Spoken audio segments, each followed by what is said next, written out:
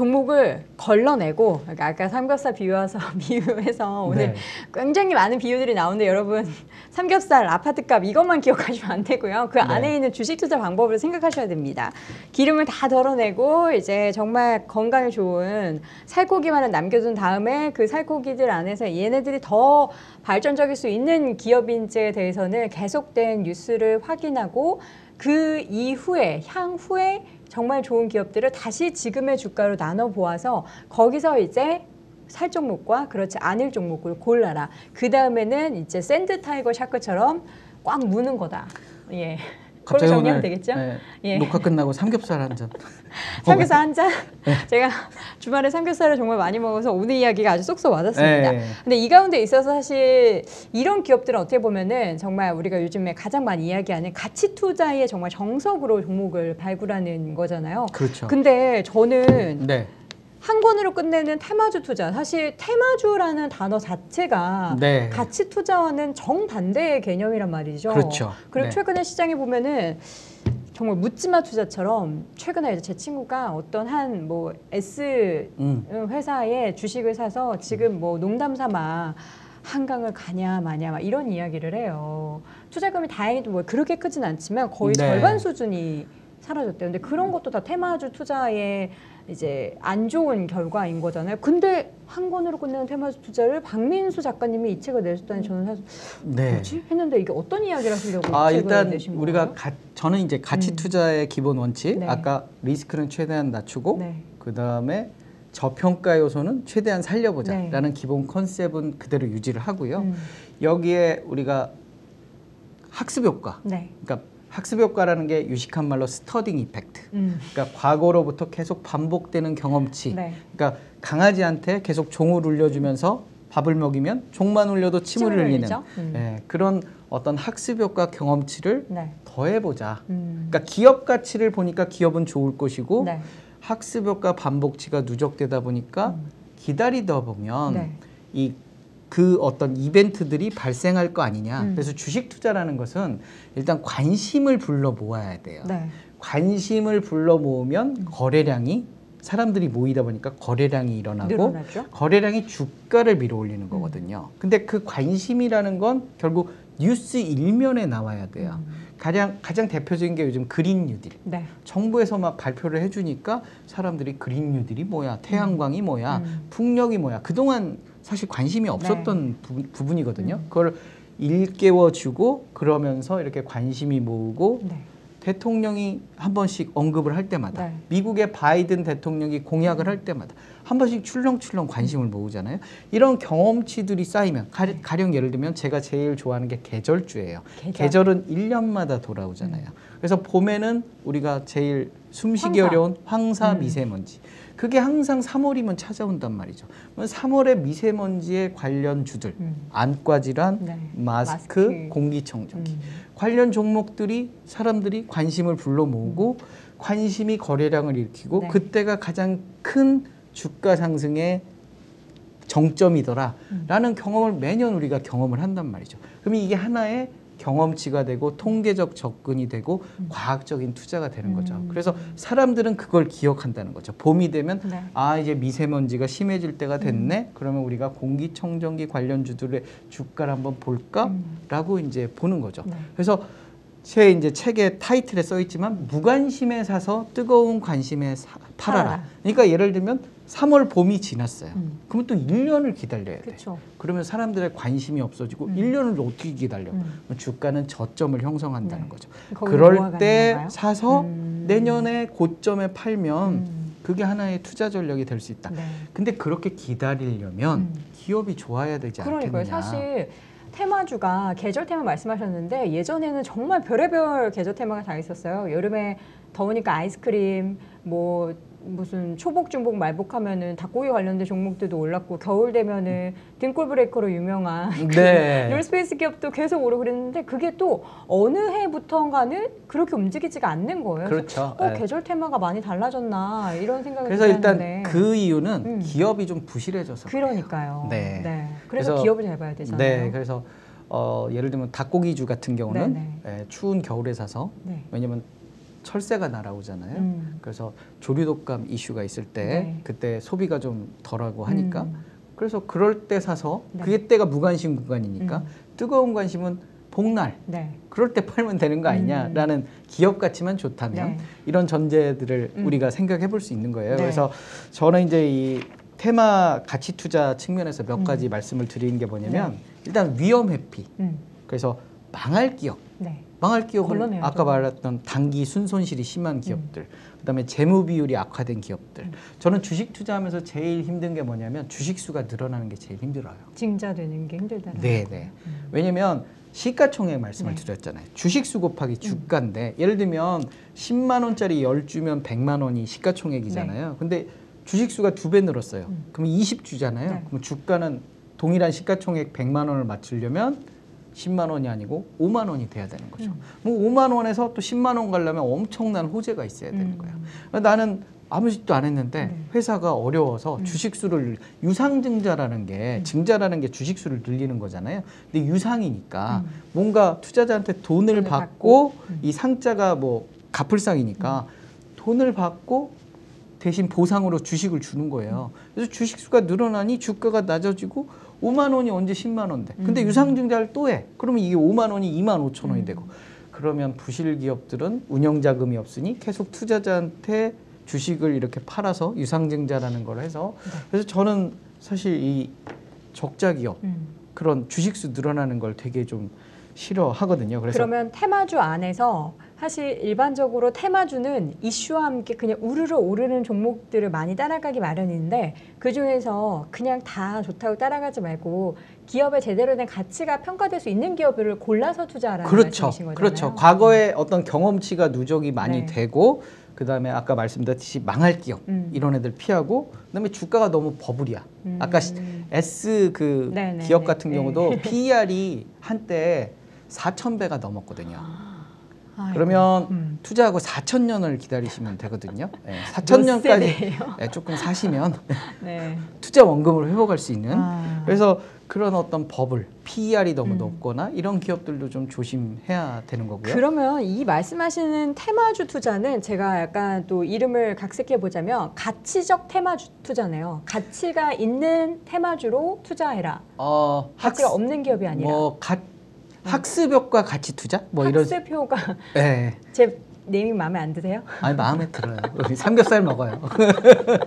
네, 어쨌든 그러면 이제 네. 테마주 하면은 사실 우리가 수익률이 단기간에 네. 물론 이제 말씀하셨던 기간을 들어보면은 한 저렴할 때 1년 정도 전에 많이 좀 관심이 없을 때 그렇게 기간을 두지만 단기간에 수익을 많이 낼 수 있다라는 장점으로 리스크를 감내하고 테마주 투자를 많이 하시는데 음. 그러면 작가님께서는 테마주 투자할 때의 적정한 수익률은 어느 정도로 생각하고 해야 된다고 저는 보세요? 수익률이 중요하지 않다고 네. 봐요. 왜냐면 이거는 수익률이 아니라 시점이 중요한 거죠. 시점? 그러니까 뜨거운 관심을 받을 때까지만 들고 있으면 되는 거죠. 근데 뜨거운 관심을 받고 이게 그게 있잖아요. 뭐 30% 정도만 오를지 아닐지 아니면 뭐 300%가 갈지 그거를 모르기 때문에 적절한 시점에서 이걸 팔아야 어, 되는데. 그래서 일단은 자기가 세운 어떤 목표 수익률이 네. 도달을 했을 때뭐 파는 것도 하나의 안전한 방법일 수도 보통 몇 있고요. 퍼센트 잡으세요? 저는 뭐 2, 30% 정도면 종목 교체를 하려고 노력을 해요. 아. 네, 그래서 저보러 대박난 종목을 말하라 막 네. 이렇게 말씀들을 하시는데 사실 대박보다는 저는 꾸준한 수익, 음, 네, 10% 20% 계속 수익 우리가 유식한 그게 더 말로 어려워요, 사실. 유식한 말로 snowball 효과라고 snowball. 네, 조그만한 눈덩이를. 이렇게 눈덩이를 굴리다 음. 보면 에베레스트가 될 수도 있다. 네. 네, 그래서 저번에 모 그 유튜브 채널에 음. 나가서 에베레스트 했더니 그거 어디 어떤 분이 말씀하셨냐고 음. 그래서 제가 말한 거다고 막 그랬는데 어찌됐든 이 스노우볼 효과를 이용을 해서 네. 하다 보면 음. 이렇게 따박따박 안전하게 계속 그러니까 이게 따박따박 수익이 나면 좋은 게 뭐냐면 음. 자신감이 아주 생기고 음. 그다음에 아 내가 이렇게 분석해서 이렇게 수익 난 게 이렇게 들어맞는구나 네. 그런 경험치가 계속 쌓이다 보면 음. 하나의 좀 가치 투자가 나는 이렇게 투자하면 굉장한 자신감과 믿음이 생기거든요. 그러면 그 원칙대로 해서 네. 이렇게 혹여 손실이더라도 추가 매수로 음. 매수 단가 낮춰서 다시 빠져나올 수도 있고 음. 네, 그래서 어, 끝까지 물고 늘어지는 네. 그런 투자 전략이 가능하다. 음. 네, 이렇게 말씀을 드리고 싶어요. 테마주에서 사실 우리가 뭐 여러 가지 기업에 대해서도 봐야 하고 주가의 움직임을 이끌 만한 이슈에 대해서도 봐야 하고 하지만 이게 주식은 또 심리 싸움이잖아요. 그렇죠. 주식 네. 시장에서 심리가 정말 네. 어떻게 보면 파랄이다라고 이야기할 수 있는 거잖아요. 그렇죠. 우리가 항상 네, 네. 뭐 센티멘트가 좋다 나쁘다 네. 뭐 이런 얘기도 하잖아요. 네. 심리 싸움은 어떻게 해야지 네, 이깁니까? 운칠 심기 맞나? 네. 아니 어떻게 운, 해야지? 운산 운삼 심칠. 네, 뭐 그냥 그거, 그럼 네. 뭐 기술은 하나도 없는 네, 거예요. 아 어렵네. 그래서 일단 그 심리 싸움 자체가 음. 굉장히 어려워요. 네. 내가 팔고 나면 오르고. 그러니까요. 네, 항상 내가 사면 고점이고. 네, 그러면서 음. 신세한탄하죠. 왜 네. 나는 나하고 주식 투자는 안 맞아. 맞아요. 음. 뭐 이런 말들 많이 하는데 저는 어떤 기업 가치를 분석하고 나면 네. 어, 새 가슴이 강심장 될 수 있다. 그래서 믿는 구석이. 생기는 음. 거잖아요. 나는 예를 들면 PER 다섯 미래의 실적 기준으로 PER 다섯 배에 샀기 때문에 네. 흔들리지 않을 거야. 음. 이게 가능한 거거든요. 투자라는 게 흔들려서 안 되는 거예요. 왜 흔들리냐? 약간 시몬스 광고 네, 믿을 수가 없어. 그러니까 우리가 네. 친구한테 돈을 빌려주는데 얘가 갑자기 워- 회사를 관뒀대. 네. 흔들리죠. 흔들리죠. 얘가 내가 3천만 원을 빌려줬는데 네. 회사를 관뒀대. 음. 그러면 이게 믿음이 이제 금이 가고 네. 얘가 갚을 수 있을까? 안절부절하는 거잖아요. 내가 이 3천만 원으로 짜장면을 사 먹었으면 얼마야? 뭐 그런데 네. 기업 가치를 분석하고 나면 뭐 그렇게 어느 정도 실적이 나올 음. 거고 얘는 잘 갈 거야. 그래서 오히려 이렇게 주가가 급락했을 때더더살 수. 있고. 예, 음. 그래서 그런 부분들이 굉장히 매력적인 음. 그런 거고 제 책에서도 이제 심리를 어떻게 좀 조정해야 될 거냐 네.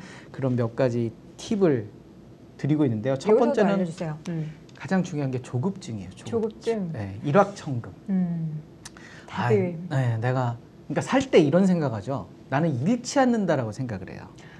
그게 음. 최근에 그 보면은 공모주 투자를 많은 분들이 하시잖아요. 네네네. 그게 네. 일확천금과 로또스러운 네. 그런 거 그러니까 무조건 따상 간다 네. 이걸 생각해서 투자를 자꾸 그런 식으로 학습을 하고 그런 식으로 네.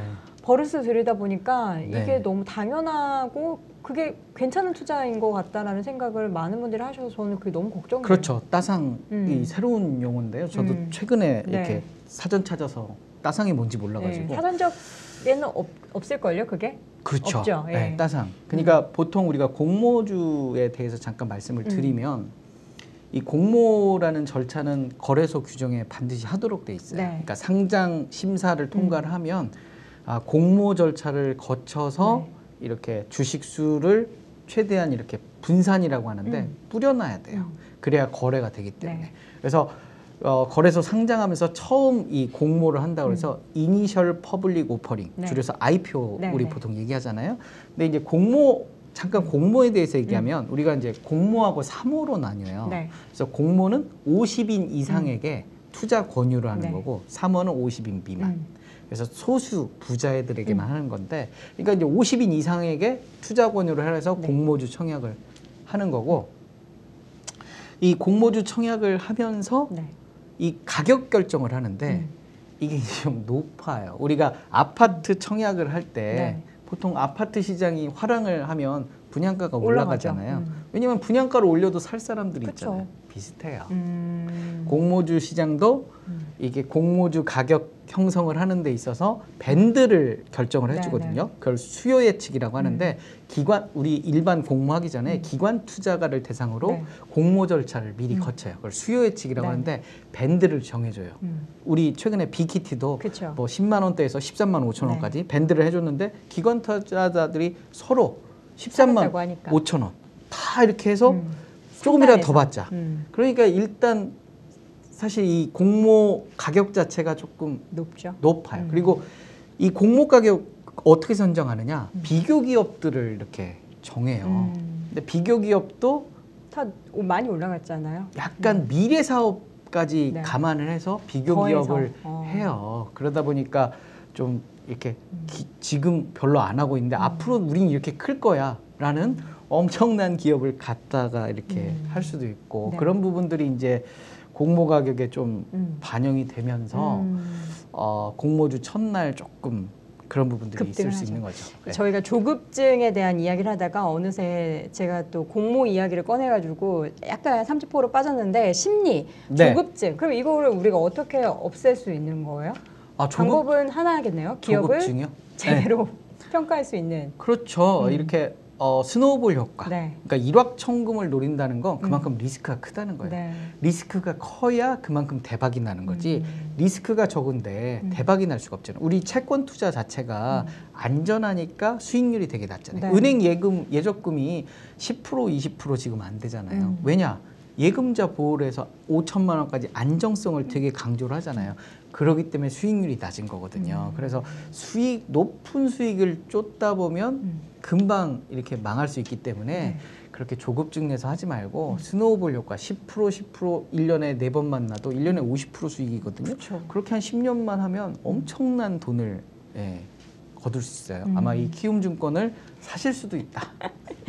그 정도는 아닐 것 같아요. 네. 근데 어쨌든 근데 지금 보면 매매도 자주 안 하는 것 그리고 이제 좀 많이 기다리는 그런 투자를 이제 쭉 이야기하셨고 근데 중요한 건 이제 우리 개인 투자자분들이 그러면 내가 어떤 종목을 뭐 할지를 정했는데 포트폴리오를 꾸려야 되는데 몇 종목 정도가 적당한지에 대해서 네. 요즘에 여러 가지 이야기를 많이 해요. 근데 네. 뭐 열 종목으로 trading 하신다는 분도 네. 계시는데 책에 보니까 네. 세 종목을 말씀하셨는데요. 이 얘기를 저는 사실 네. 저희 이제 회사의 강병욱 교수님도 세 종목을 말씀을 하시는 아, 거예요. 왜 세 종목인 거예요?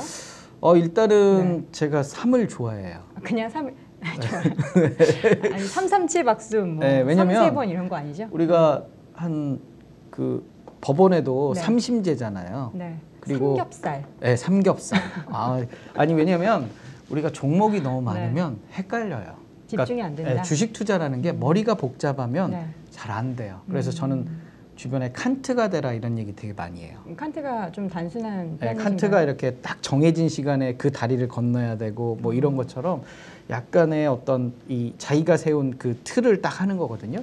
그래서 너무 많은 것들을 하면 자기가 그걸 까먹어요. 음. 네, 그래서 옛날에 어떤.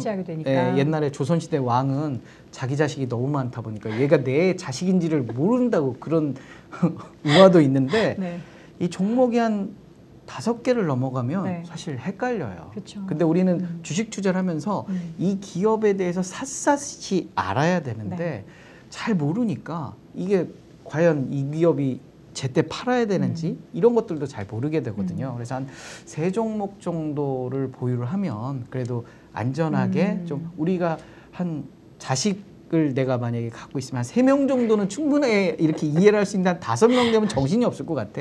그래서 와닿네요. 아. 그래서 한 세 개 정도를 네. 유지를 하고 그다음에 저는 분할 매수 전략이잖아요. 분할 매수. 종목이. 너무 많으면 음. 돈이 없어요. 분할 맞아, 매수를 하려고 맞아. 하는데 그래서 미리 정한 어떤 손실률에 추가 네. 매수를 하려면 음. 그래서 한 30%에서 50%는 공격적으로 하고 나머지 네. 50%에서 70%는 추가 매수를 해야 되는데 음. 종목이 너무 많으면 네.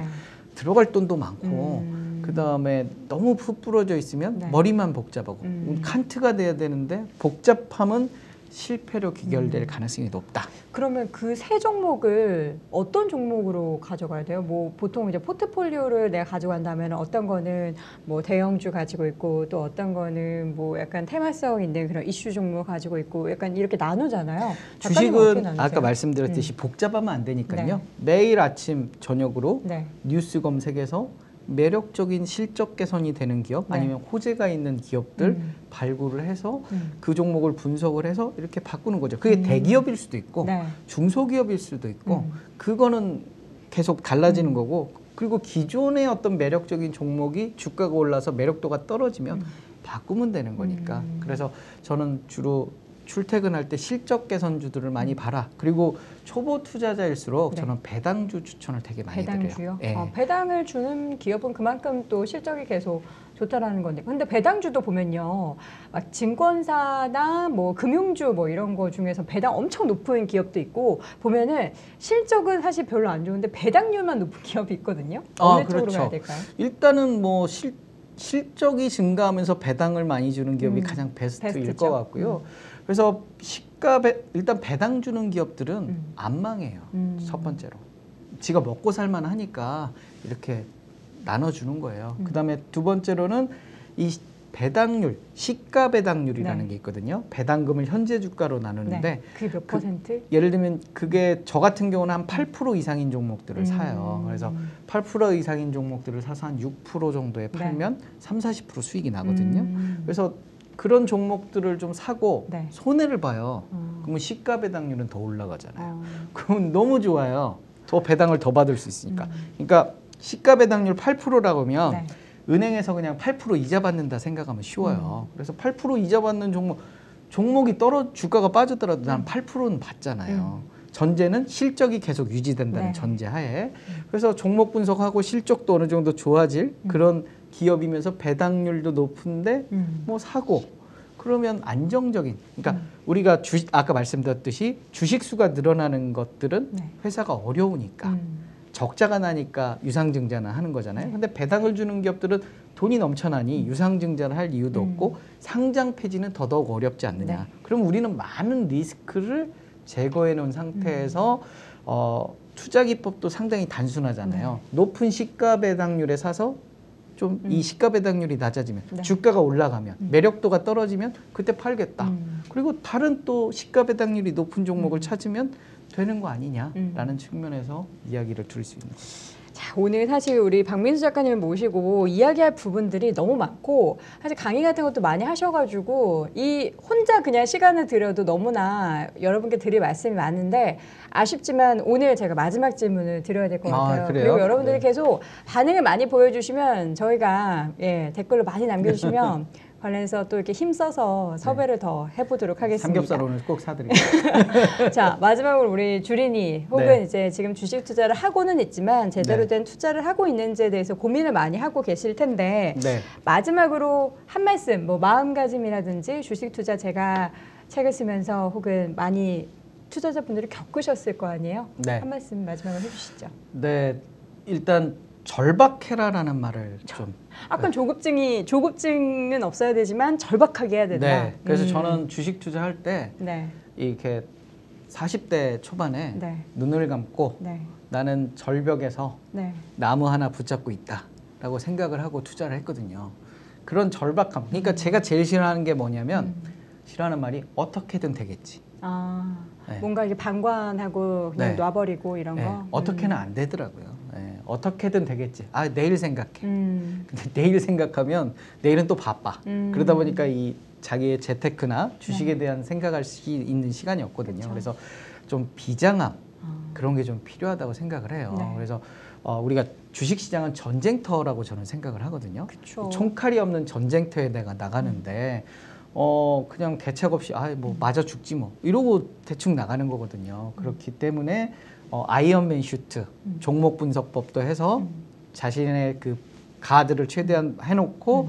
그다음에 절박하게 나가서 싸워야만 되는 거 아니냐. 그래서 저는 이제 나무에 매달려서 손해를 보면 나 이 나무를 놓고 나는 죽는다라고 생각을 하게 되면 어떻게 보면 이제 이게 충격요법인데 네. 종목을 쉽게 고르지 못해요. 음. 그래서 종목을 고르는 거 자체가 굉장히 어렵게 좋은 종목을 고르는 음. 그런 노력들 하에서 절박하게 음. 하다 보면 그게 이어지면 조급증도 없어지고 자신감도 생기고 불안감도 적고 음. 그래서 그런 투자를 하는 게 제일 중요하고요. 아까 네. 처음에 질문하셨더니 공부하라. 공부. 네, 이게 정말 교과서적일 수 있는데 공부하지 않으실 거면 투자를 안 하시는 게 저는 좋을 것 같아요. 그렇죠. 정기 적금 들어라. 네. 저는 그런 얘기 하거든요. 차라리 정말 예금 적금 네. 드는 게 차라리 낫지. 네. 주식 투자 정말 키움증권 쪽에서는 이제 안 좋을 수도 있지만 주식 투자 많이 하길 바라지만 안 하시는 게 오히려 더 네. 좋지 않을까 가계용자에는. 네. 음. 저축은 키움 저축은행 가서 하시면 되니까. 알겠습니다. 뭐 네. 앞 광고 예 한 것 같은데요. 네. 어쨌든 오늘 박민수 작가님과 함께 여러 좋은 이야기 나눠봤는데 다음에 어떻게 또 요청 드리면 오실 거죠? 나오실 아, 예, 거죠? 삐삐 쳐주시면 언제든지 예. 제가. 네. 알겠습니다. 오늘 달려오겠습니다. 오늘 말씀해 주셨던 비유 중에서 가장 올드한 비유였습니다. 네. 자 그러면 삼겹살을 좋아하는 박민수 작가님과 오늘 함께 이야기 나눠봤습니다. 말씀 고맙습니다. 네, 감사합니다.